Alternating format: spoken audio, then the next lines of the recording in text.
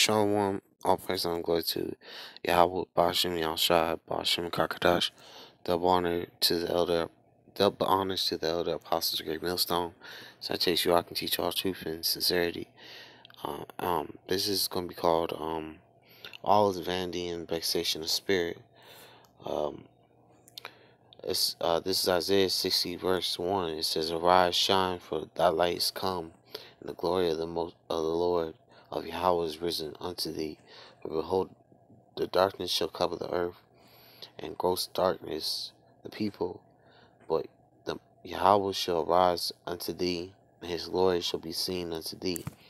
Because, um, like it says in um Isaiah of chapter 5, verse 20, which I'm going to get, um, uh, uh, it, will um, destroy the, the covering over the people, the, uh, the, basically, it will uh, reveal the, um, the, uh, the blindfold over their eyes so they can see um, what is what is true, what is not true, what is uh, what is um, the right way, what is the wrong way, how to um, govern themselves either in righteousness or in wickedness, because you know in this flesh dwells no good thing, and um, basically what is you know all is vanity and vexation of spirit out here, because um you know um because this place is a, a continuously uh draining vexation especially for the men of the lord daily because we see wickedness going on 24 7 and there's no judgment there's no no recompense there's no um I- i'm trying to think of another word you know it's not it's not executed judgment is not executed expedient out here in these these streets when it comes to wickedness. Wickedness uh uh vex vexing um abominations. They continue on in this society without no um without nobody um rebuking them and and chastising them for their wicked deeds. And they they uh, go along like it like it's just normal, which which shouldn't be that way. Like back in ancient times, people used to be executed within the town square, and after the execution, everybody went on like it was normal because that's the way it was supposed to be. It, you're not supposed to allow a vex. Uh, uh, you're not supposed to allow wickedness to continue, um, and and uh, be a part of the community because, like the scriptures say, um, below 11, 11 a whole lump. Um, you know, like back in the ancient times, we used to get rid of evil, wickedness, and abominations, um, because um, it it get evil amongst from amongst our people. Um, but anyway, but we're just like Lot. You know, Lot was vexed with the filthy conversation of the wicked. We we represent Lot, which Lot represent the elect. You know, we're the, we're the hopeful elect of the nation of Israel, Lord willing. You know, um, but anyway, I'm gonna go to First John, uh, two and eighteen.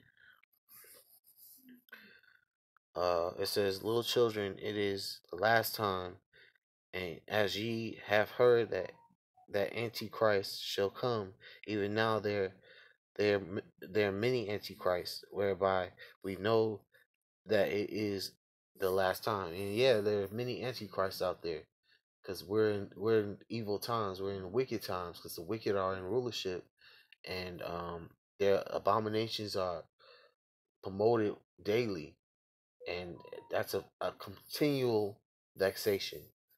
Uh, You know, you know, it's it's a vain thing because they, you know, this society could be a little better if they would execute judgment right away, but they're not going to do that because the wicked man's in rulership, and he he likes it deplorable. He likes it.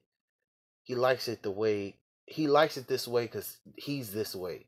He's he's he's he's the most vile and most uh, grotesque individual on the planet Earth, and he likes it. He likes it this way because that's how his people are, and that's how they always going to be. You know, they hate uh, righteousness, and they're never going. You know, how can you make a um, how can you make a wicked thing clean, or evil thing clean, or uh, or or unclean thing clean? You can't. You can't make an unclean thing clean. You can't purify unclean thing. And you know the the red Hebrew Edomite, who's Esau Edom, he he can't be he can't uh, be cleansed because he is a vile and wicked individual. You know, um. But anyway, I'm gonna go to Isaiah, Isaiah um five and twenty. Um, it says, "Woe unto them that call evil good and good evil, and that uh put darkness for light and light for darkness, and that put bitter for sweet and sweet for bitter." Yeah, uh, it's gonna be destruction unto you because woe means destruction. You're gonna uh actually get judged for calling evil good and good evil. You know, um. Uh, so I'm gonna go to the last scripture is excuse me. excuse me. Salakia. This is uh Second Peter three and ten. But the day of Yahweh excuse me. But the day of Yahweh Yahshua will come as a thief in the night, in which the heavens shall pass away with a great noise, and the elements shall melt with fervent heat. The earth also and the works that are therein shall be burned up.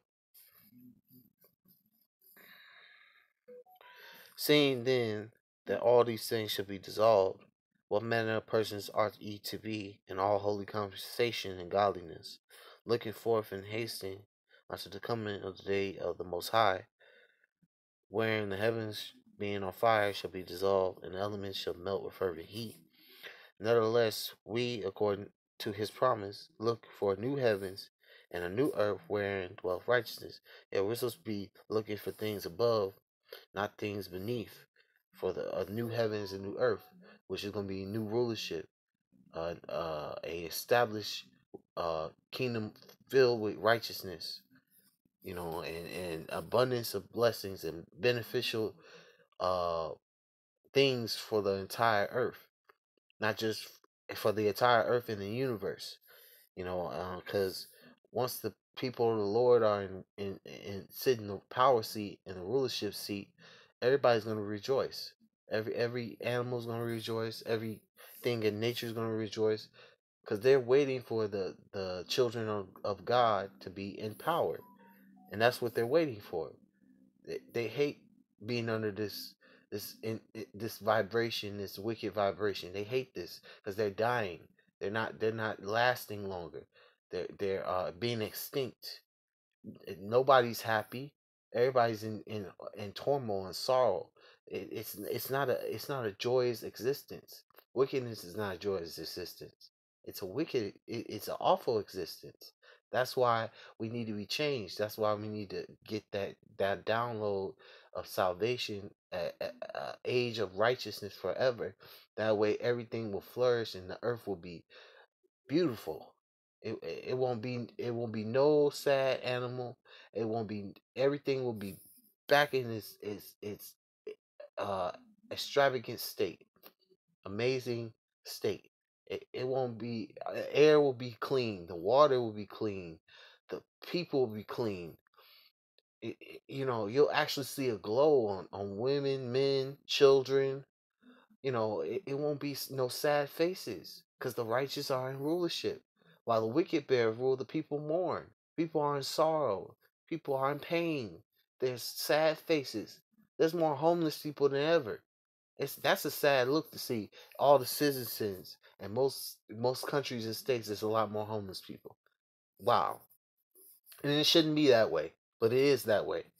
So anyway, I'm gonna say all praise and honor and glory to Yahweh Bashim Yahshai, Bashim Kakadash.